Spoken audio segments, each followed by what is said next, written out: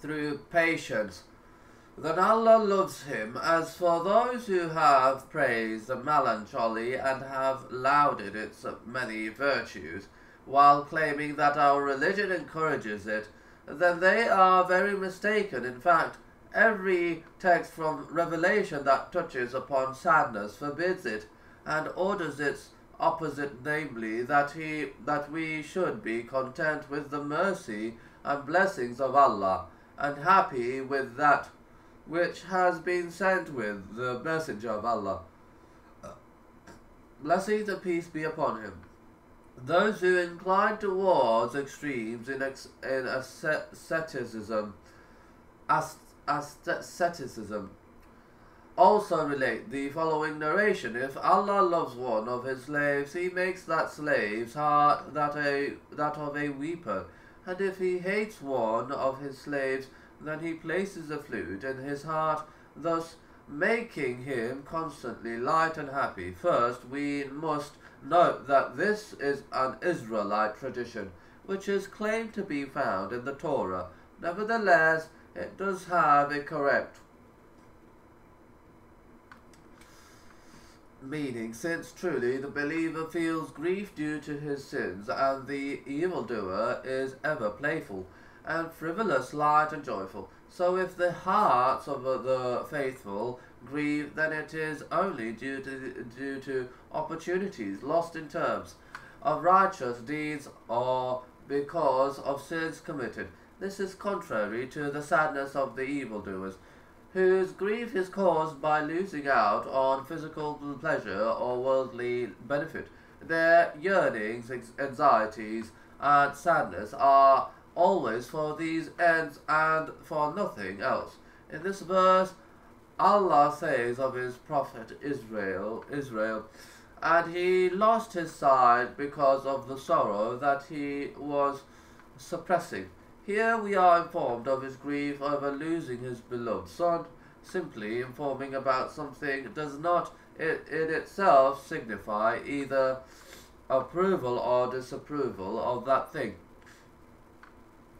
The fact is that we we have been ordered to seek refuge from sadness, as it is a heavy cloud that hangs that hangs above its victim and is a barrier that prevents one from advancing to higher aims.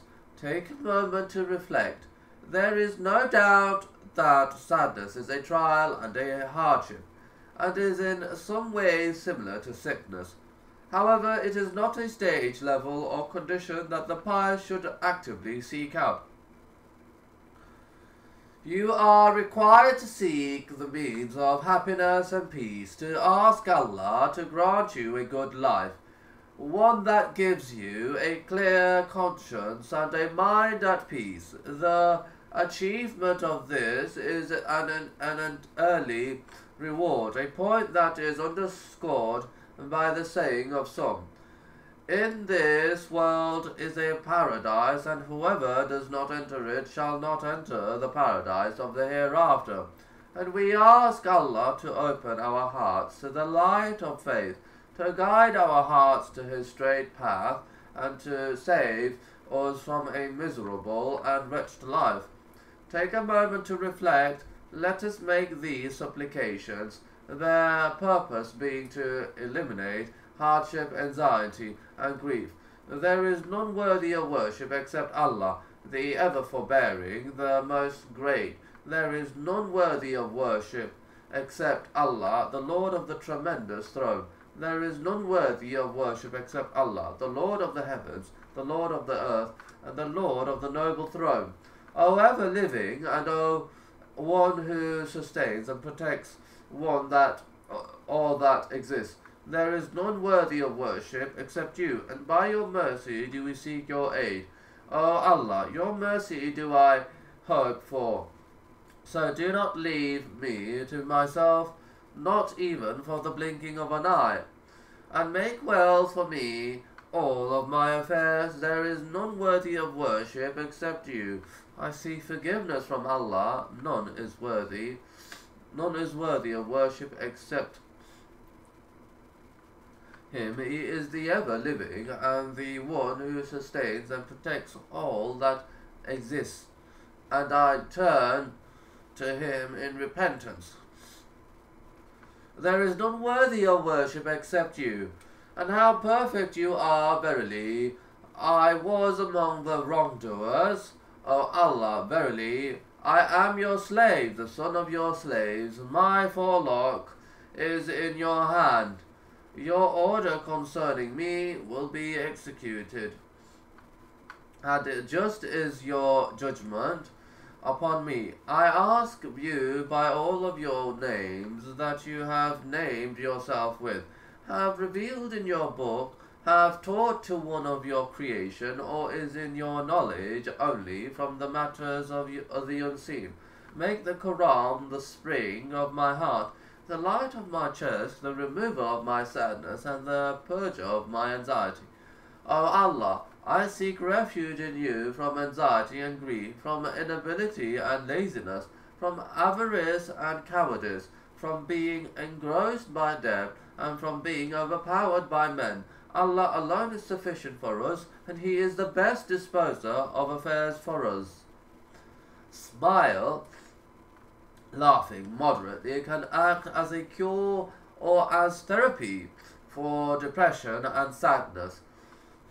It has a strong influence on keeping the soul light and the heart clear. Abu Darda, may Allah be pleased with him, said, I make it a practice to laugh in order to give rest and comfort to my heart, and the noblest of people would laugh sometimes until his molars became visible. Laughing is an effi- efficacious way to achieve comfort and light heartedness, but keep in mind that, as in other things, you should not be immoderate. The Prophet, blessings and peace be upon him, said, Do not laugh excessively, for verily excessive laughter kills the heart. What is called for is moderation. Smile, and if you smile in the face of your brother, then that is a form of charity. So he, Suleiman, smiled, amused by her speech. Also, when he when you laugh, you should not do so in a mocking or jeering fashion. But when he came to them with our ayat, proofs, evidences, verses, lessons, signs, revelations, behold, they laughed at them. Among the pleasures of paradise will be laughter. But this day, the day of resurrection, those who believe will laugh at the disbelievers. The Arabs would hold in high esteem a person who was known. For his smile and laughter, they believed this to be a sign of a generous personality and of a person who has a noble disposition and a clear mind. The truth is that the principles of Islam are based on moderation and on good measure, whether it is in matters of belief, worship, manners, or conduct. Islam does not condone a rigid, frowning expression, nor does it condone a constant, playful giddiness. Rather, what it does promote is seriousness when it is called for and a reasonable level of light-heartedness when it is called for, bearing a gloomy mien and a frowning countenance, and are marks of a lowly character, a troubled nature, and hot-headedness. And then he frowned and he looked in a bad-tempered way. The Prophet, blessings and peace be upon him, said, Do not disparage, underestimate any good deed no matter how small it is, even if that deed was to meet your brother with a friendly countenance, Ahmad Amin said in his book Faid al-Khatir.